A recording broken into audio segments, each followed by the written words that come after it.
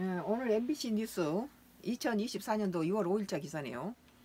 모디 2047년 선진국 비전 힌두 표심 앞세워 총리 총선 승리라는 기사입니다. 아, 나렌드라 모디 인도 총리가 이끄는 인도 집권당 인도 국- 국민당 주도 정치연합이 총선에서 승리했습니다. 예상했던 대로네요. 뭐 인도에서 모디 총리만큼 더, 더 대단한 인물 없겠죠.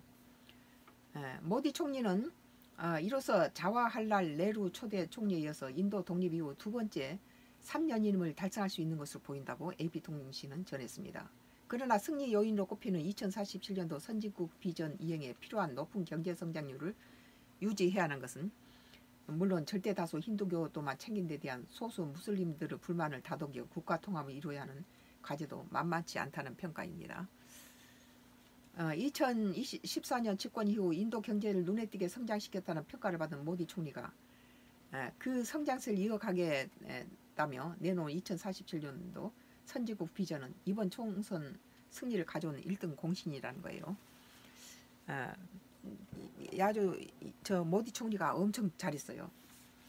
에, 모디 총리는 10년 음, 집권 기간 경제 규모 순위를 세계 11위에서 5위로 끌어올렸습니다. 대단한 거죠. 세계은행에 따르면 인도는 코로나19 팬데믹 전인 2017년과 이듬해 6% 성장률을 기록했고 코로나19에 타격을 받았지만 2021년도 9.1% 성장률 급, 급반등했고 2022년에는 7.1%를 기록했습니다. 인도는 2023년부터 2024년 회계연도에는 약 8% 성장률을 기록한 것으로 전망되고 있습니다. 이런 성과를 바탕으로 모디 총리는 영국 식민 지배에서 독립한 지 100주년을 맞아 2047년도까지 인도를 선진국 반열에 올려놓겠다고 약속했고 민심이 이러한 장밋빛 약속에 표를 몰아준 것으로 해석합니다. 아, 개인적으로 어, 나는 모디 총리가 충분히 그렇게 할 수 있다고 봐요. 에, 나의 정치적 코멘트는 예상했던 대로 인도 모디 총리가 총선에서 승리했습니다. 인도는 인구도 많고 땅도 넓지만 종교 갈등이나 빈부 격차가 큰 나라죠. 에, 모디 총리는 역대 인도 정부 어느 총리보다도 인도의 위상을 격상시키고 급속한 경제 성장을 이루는 데는 인도 정부의 자유민주주의와 공산주의 편에 서지 않고 아, 자국 중심의 경제 발전에 몰두한 결과라고 봅니다. 개인적으로 우리나라가 이 인도를 좀 배워야 돼요. 뭐 어디 막 치우치지 말고 인도 좀 보세요. 우리나라도 인도 모두에게 배워야 할 부분이 바로 이 부분입니다. 인도의 공주가 한반도의 황, 항우가 된 기록도 있, 있죠. 우리나라에.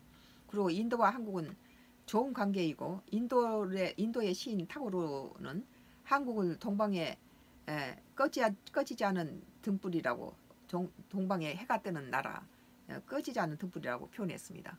우리 한국과 인도 관계는 계속 발전하고 어, 계속 어, 좋은 관계를 유지하면서 어, 배울 것도 배우고 또 가르, 서로 배워주고 가르쳐주고 그런 좋은 협력 관계가 지속됐으면 좋겠습니다.